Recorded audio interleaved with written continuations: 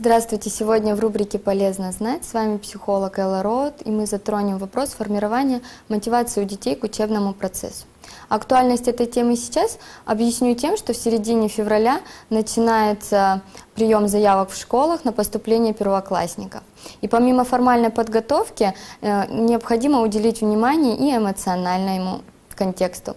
Важно помнить, что помимо э, знаний и навыков, которые получает ребенок э, в процессе обучения, огромное значение имеет и эмоциональный след от занятий.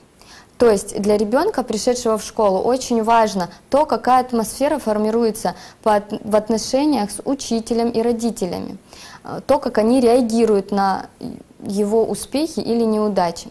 В этом месте ребенок делает выводы о себе из того, как на него реагируют значимые взрослые.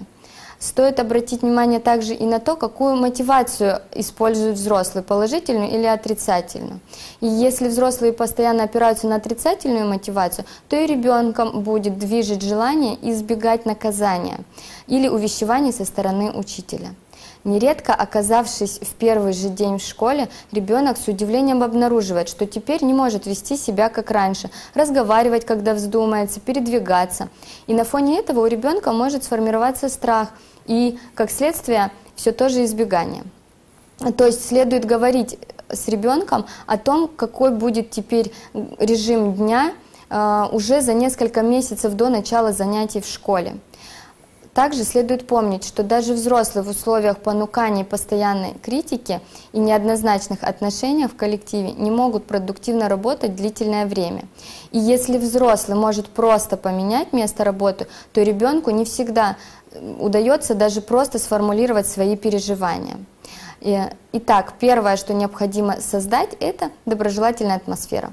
Многие наверняка часто слышат о том, что нельзя критиковать и понукать ребенка, постоянно тыкать на его ошибки. Это действительно так. Но давайте попробуем прояснить, что мы можем сделать в этой ситуации.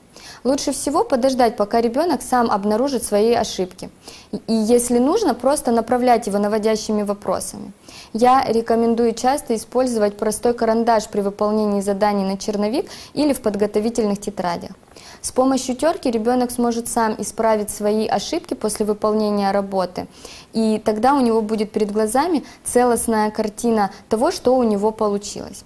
А родителям предлагаю пользоваться при проверке зеленой пастой, подчеркивая только получившиеся элементы или буквы. Так у ребенка будет формироваться уверенность в себе и вывод о своих способностях. Да, я это смог когда он будет видеть, сколько у него получилось. Или если он сочтет, что этого мало, что ему что-то не под силу. А, также важно понимать, чтобы задания по уровню сложности соответствовали возможностям ребенка. Тогда интерес справляться с этим будет поддерживаться. Эмоции, которые ребенок испытывает, э, и те переживания в учебе могут также отражаться на отношении к предмету. То есть, если у ребенка что-то получилось по математике, то он может называть это любимым предметом. И наоборот, если он получил какую-то критику по предмету, там, например, по русскому языку, он будет говорить, что он не хочет его выполнять и делать ему не, это не нравится.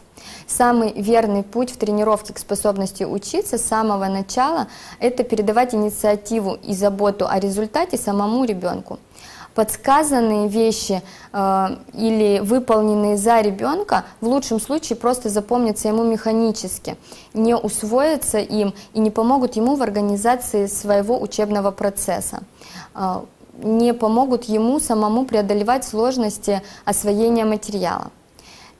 Здесь я снова хочу вернуться к тому, что задачи и темп выполнения должны быть комфортны для ребенка. Также на интерес к учебному процессу влияет поддержание природной любознательности ребенка. Помните, что любая деятельность успешна тогда, когда она делается с удовольствием. Всем хорошего настроения, до свидания.